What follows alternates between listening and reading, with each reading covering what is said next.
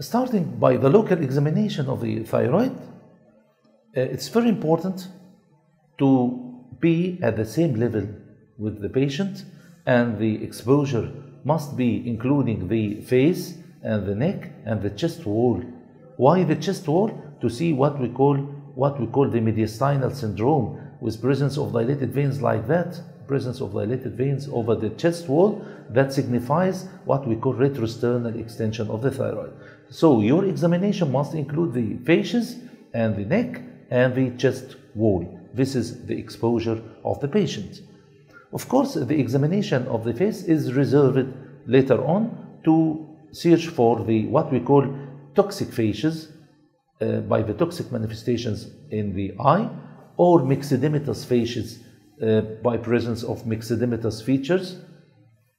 And then we focus on the local examination of the thyroid. The neck may be slightly extended, slightly extended to show the swelling as, as we see. What about this swelling? Is it focal or diffuse? As we see, what we call the site of the swelling is diffuse swelling, taking the whole thyroid gland. So, what about the site of the swelling? Is it focal or diffuse? It is diffuse swelling. What about the size or relative size? Of course, as you see, the relative size may be a size of melon, a size of melon. It is a very large one. What about the shape of the swelling? It is butterfly, taking the whole thyroid. What about the border? The border is well defined, especially the lower border. I can see the lower border to exclude the what we call retrosternal extension. What about the surface of the swelling by inspection? By inspection, the surface of the swelling is a smooth surface with apparent lobulation. Smooth with apparent lobulation. It is a smooth with apparent lobulation. It is nodular surface. What about the skin over the swelling? As we see, we will comment on edema, redness, to signify inflammation, edema and redness, edema or redness, scar of previous operation or scar of biopsy, presence of sinus or ulcer, presence of dilated veins. And as we see, there is dilated veins. As we see, there is dilated veins. And the presence of dilated veins signifies signifies compression manifestations. Compression manifestations. Is there a visible pulsation or not? There is no visible pulsation. What about movement with swallowing? It is mobile up and down with deglutition and swallowing. It is mobile up and down with deglutition. So swellings that, moves up and down with deglutition that are swellings contained in, in the pretracheal fascia, uh, the thyroid and larynx and the contents uh, surroundings. So it is most probably thyroid swelling, it is diffuse swelling, it is nodular in surface, diffuse swelling and nodular in surface, there is dilated veins signifying compression manifestations.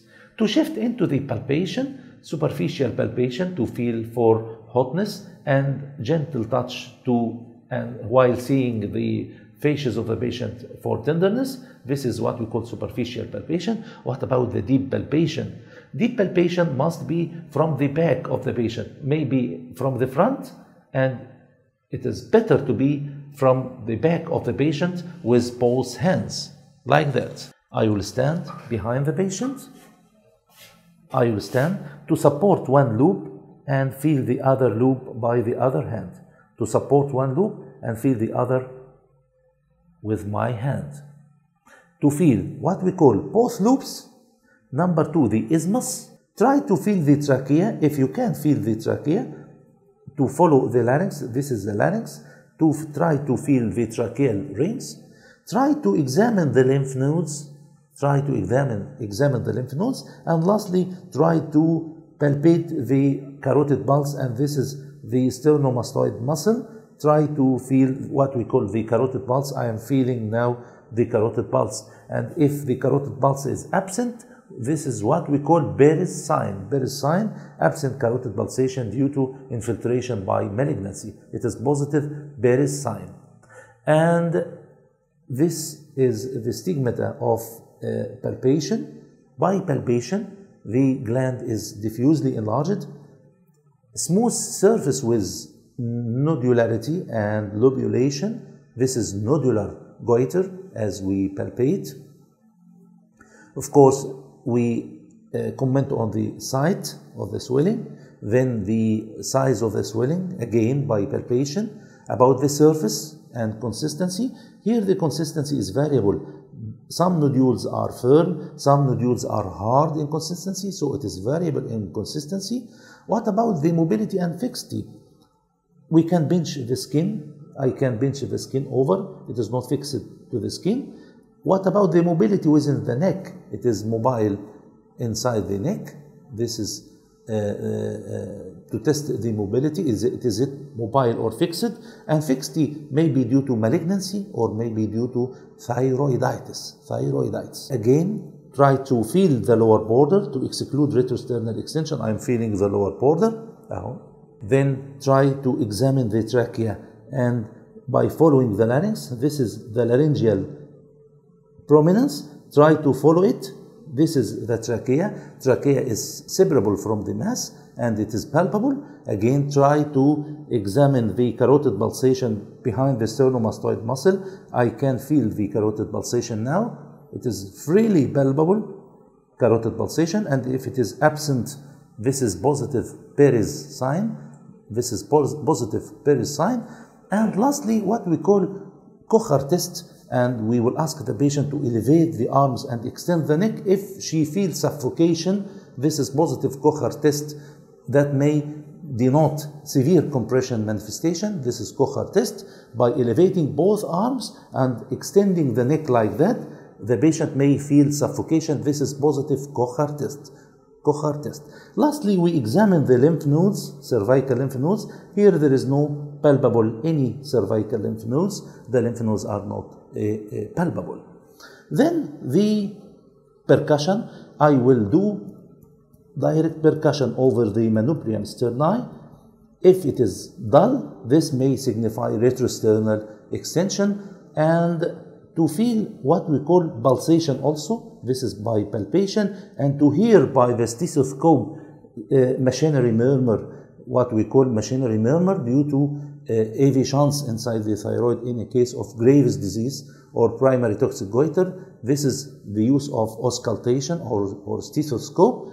And if there is uh, palpable pulsations and audible bruit in the stethoscope, this signifies the primary toxic goiter.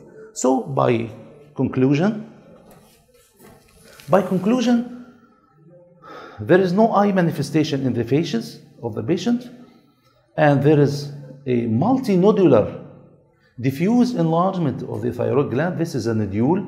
This is another nodule. It is smooth surface with apparent lobulation and nodularity of the gland. There is dilated veins, means compression or retrosternal extension, but the lower border can be felt and the sternum is resonant by percussion. There is no pulsation, there is no audible, audible, uh, audible bruit or uh, machinery murmur. So the most probable diagnosis of this case is diffuse multinodular goiter.